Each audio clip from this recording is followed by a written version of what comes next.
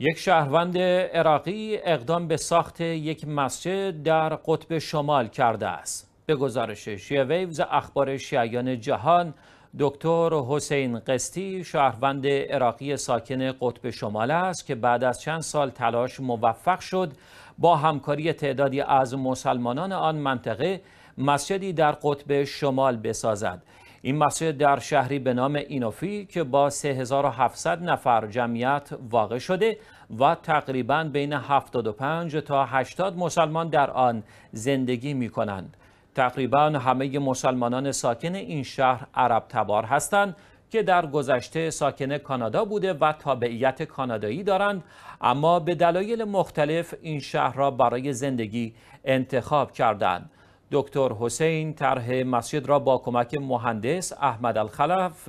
دیگر شهروند عراقی کانادایی انجام داد و بعد از پایان طرح با کمک تعدادی کارگر و نیروی فنی کار ساخت را آغاز کرده و موفق شدند مسجد 457 متر مربعی را در عرض چند ماه به پایان برسانند. بعد از پایان ساخت مسجد که اولین مسجد در بخش جنوب غربی قطب شمال است فورا منبر، فرش، لوستر و دیگر لوازم مورد نیاز هم برای مسجد تهیه شد.